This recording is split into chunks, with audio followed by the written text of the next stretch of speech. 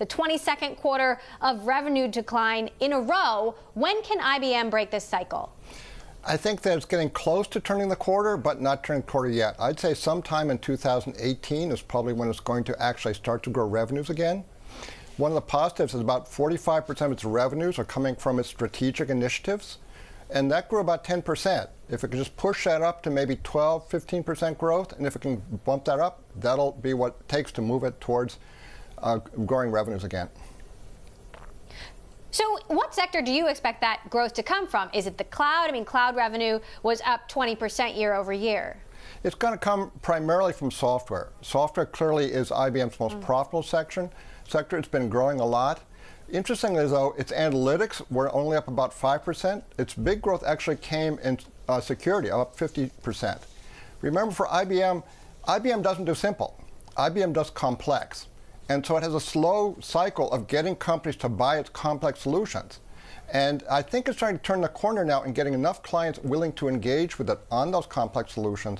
We'll start to see that software growth plus its services growth really maybe kick over to positive territory, as I said, sometime in 2000, uh, in 2018.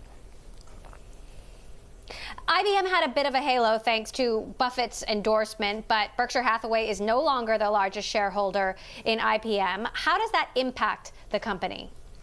I think that Buffett obviously does provide a, that's what I say, a, a, positive glow on things. I'm not sure how that's going to play with investors, though. I think certainly investors have been patient but a little bit tired. They're really looking not so much for what other investors are doing, looking for what is the company actually going to do in terms of generating that revenue growth. And I, I think it's getting close. It's not quite there yet. Watson and blockchain are two bets that IBM is making on the future. When will these bets pay off and how big will they actually be?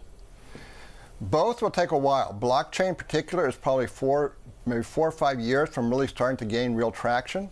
There's some niche benefits from it, but not really driving. Watson, I think, is more of a halo that they're using to wrap around a lot of things.